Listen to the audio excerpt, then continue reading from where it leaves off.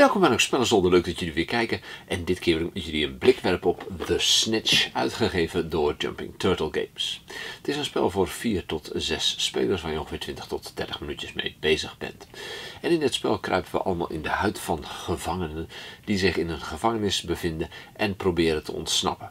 In eerste instantie proberen we gezamenlijk de vrijheid op te zoeken, maar gaandeweg het spel voordat kan er een snitch, een verrader in ons midden komen die de zooi probeert te saboteren. Het doel is in principe voor de spelers om gezamenlijk te ontsnappen. Lukt dat, winnen zij het spel.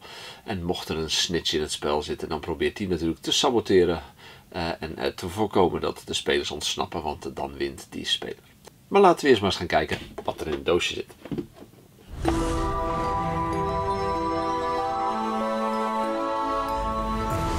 Het spel is bedacht door Ellie Steven Savery en die kennen we onder andere ook van een aantal van de Baby Cruise en Baby Clues spellen. En we krijgen de spelregels in twee talen, het Nederlands en het Engels. Uh, qua overzichtelijkheid laat iets te wensen over. Het is best wel wat leeswerk voor een redelijk simpel spel. Uh, ik moet zeggen, dat had charmanter gekund. Alles staat er wel in, maar een beetje veel. We krijgen het pistool, wat we eigenlijk proberen om uh, de gevangenis binnen te smokkelen, zodat we ons een weg naar buiten kunnen vechten. Reference kaartjes. We krijgen de snitchkaart en uh, de plannenkaarten. Uh, drie stuks. En we krijgen de guard, die uiteindelijk de ontsnapping ook wordt. Een stuk zeep, want dat vind je natuurlijk altijd in, in de gevangenis. Dit is de ondervrager voor de ondervragingsstapel. En we krijgen de verschillende karakterkaarten die we gebruiken op drie verschillende manieren. Dat is wat we krijgen. Laten we maar eens een spelletje gaan opzetten.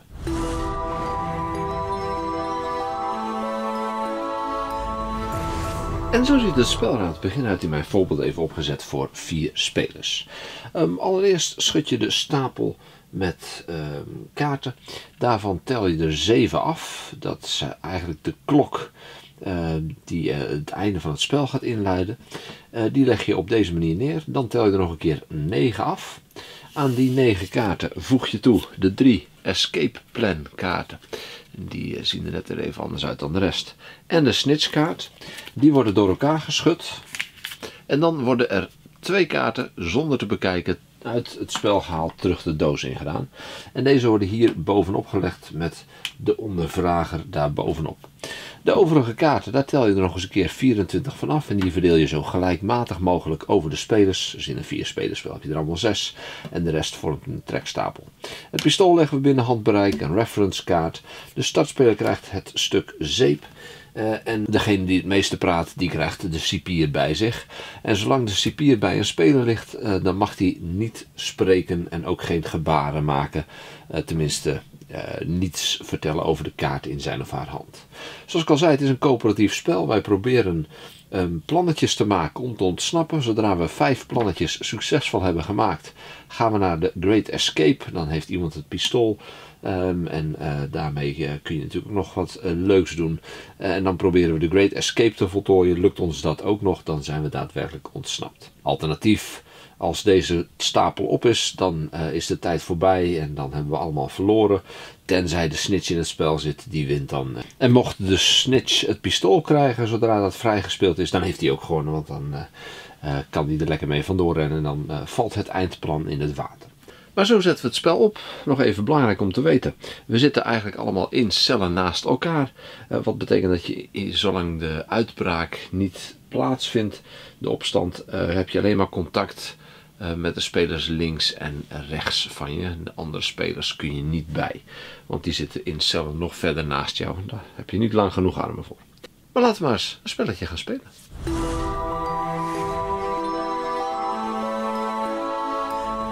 We beginnen met te spelen met de zeep. Uh, en dan met de klok mee, wordt de zeep ook steeds meegegeven. Um, uh, eerst zijn spelers aan de beurt. En als je aan de beurt bent, heb je keuze uit drie verschillende acties. Voordat we beginnen, gaan we allemaal ons eerste plannetje kiezen. Uh, en plannetjes bestaan uit dit soort kaarten. Alle kaarten in je hand zijn figuren die op dezelfde manier zijn opgebouwd. Aan de bovenkant heb je een karakter staan. Uh, dat karakter uh, stelt een, uh, iemand binnen deze gevangenis voor die jou helpt met het voltooien van je plannetje. Sommige karakters hebben hier een dolk. Die zien er zo uit, die dolken.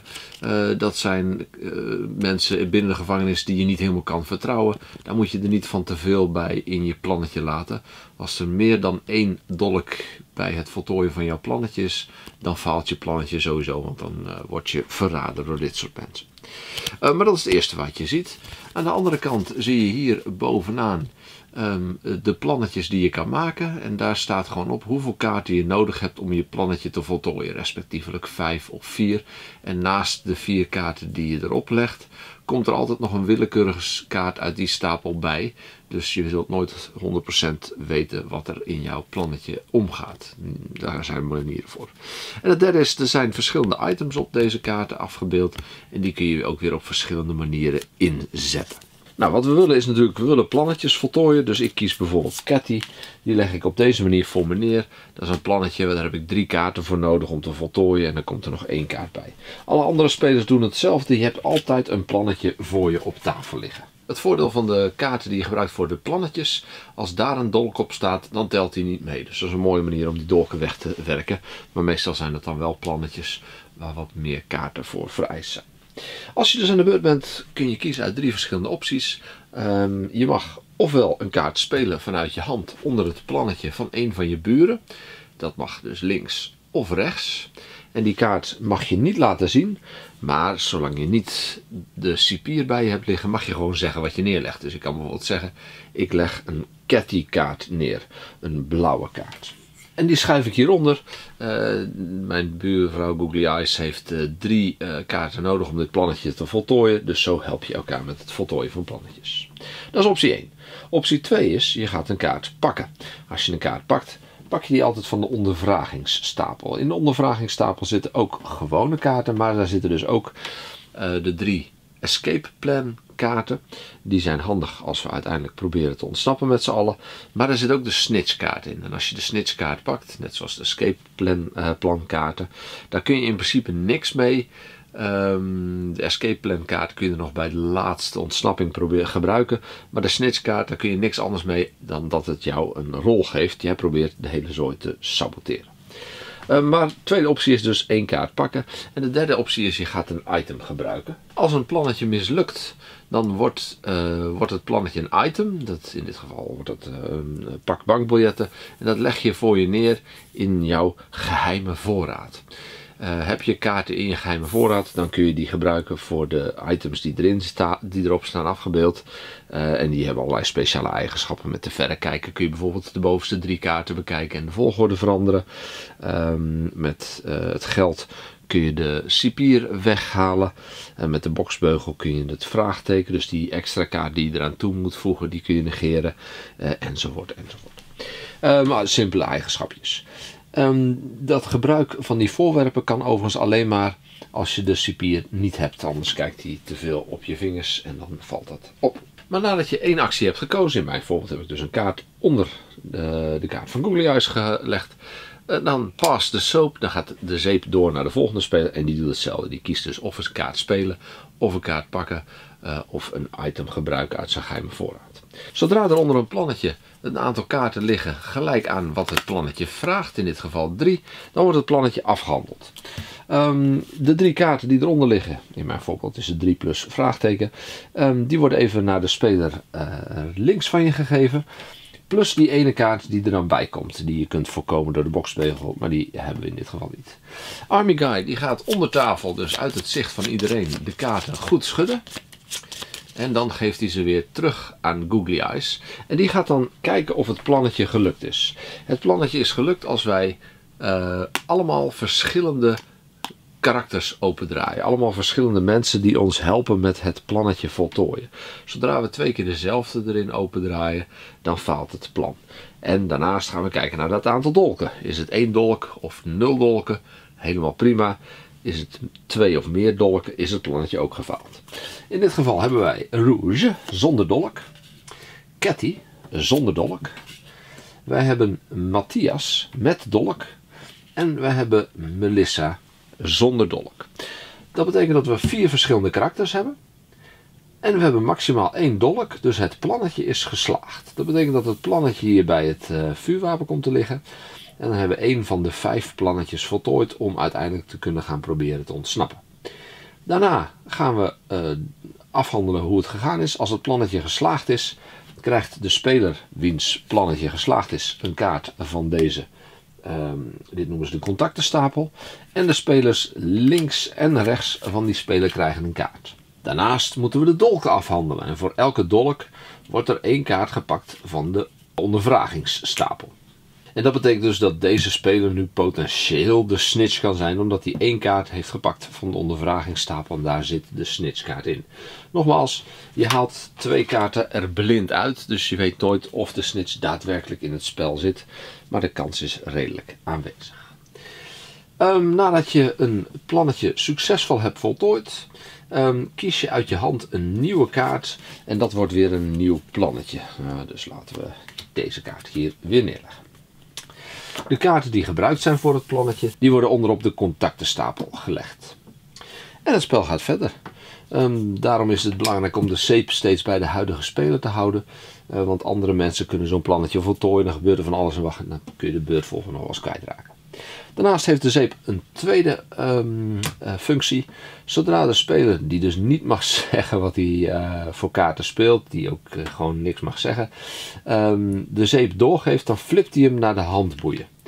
Komt de zeep nog een keer met de handboeien bij de speler met de cipier, dan gaat hij weer terug op het moment dat hij hem doorgeeft en dan gaat de cipier tegen de klok in naar de speler rechts daarvan. En dat voorkomt dat je eindeloos met die cipier opgescheept zit.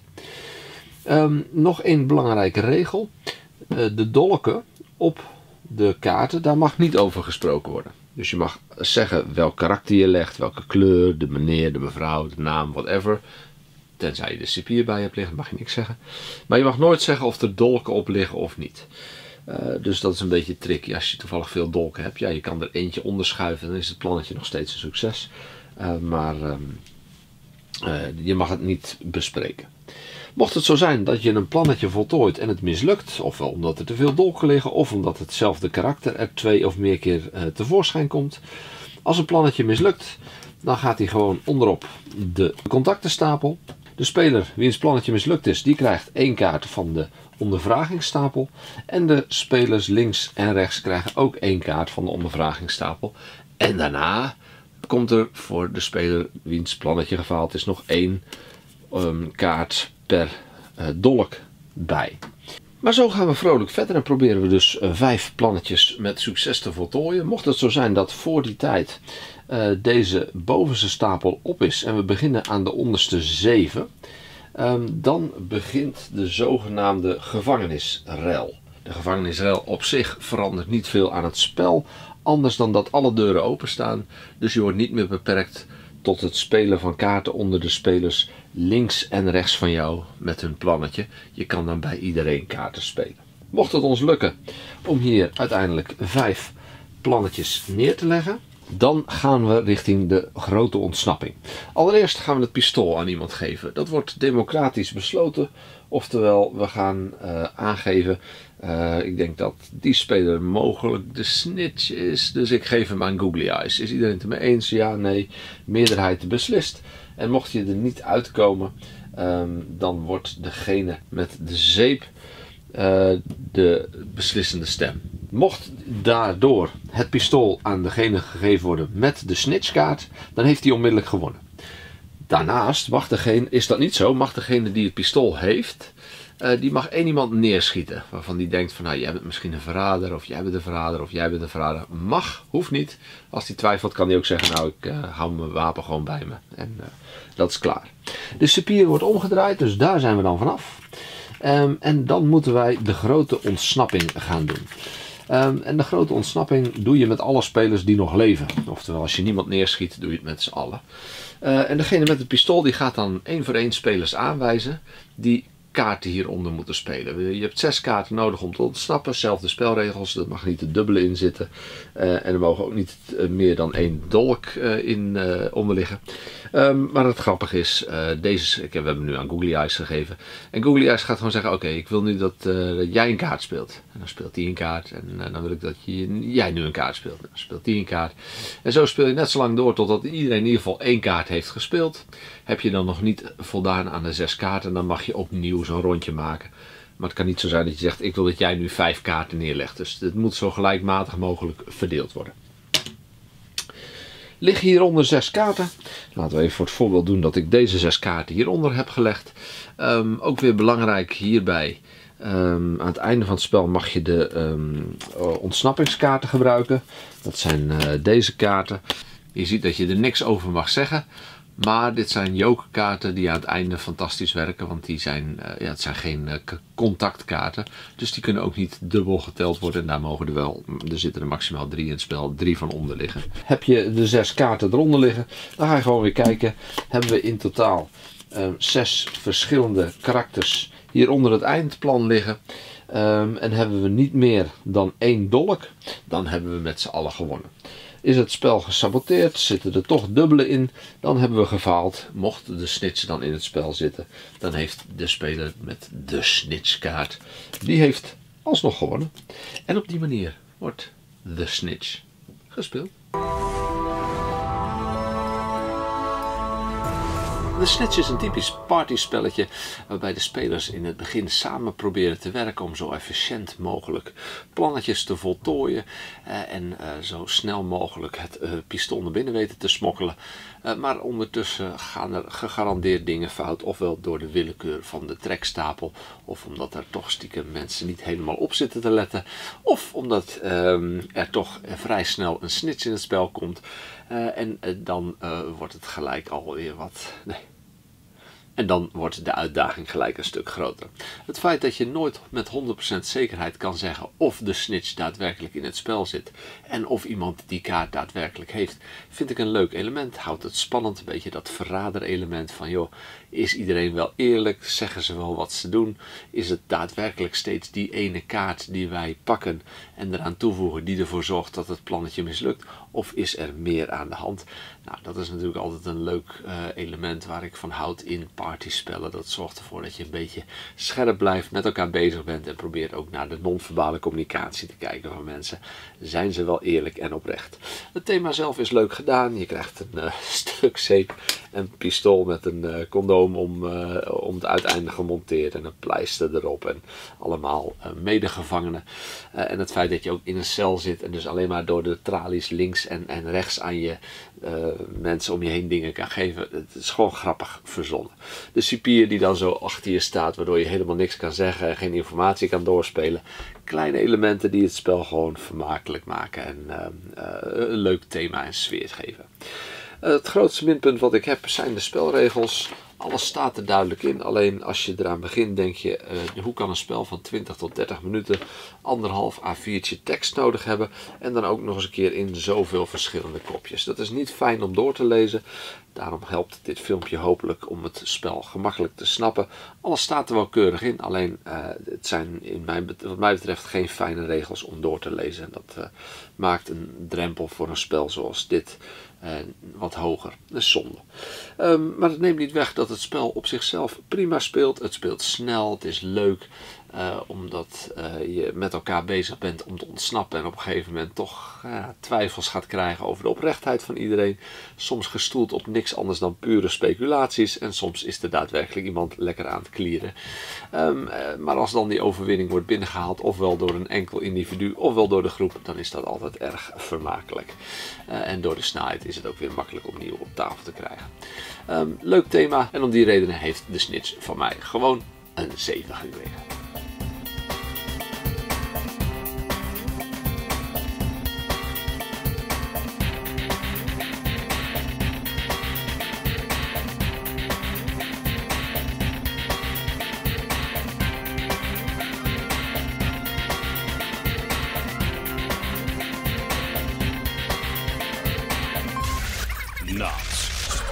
Zone.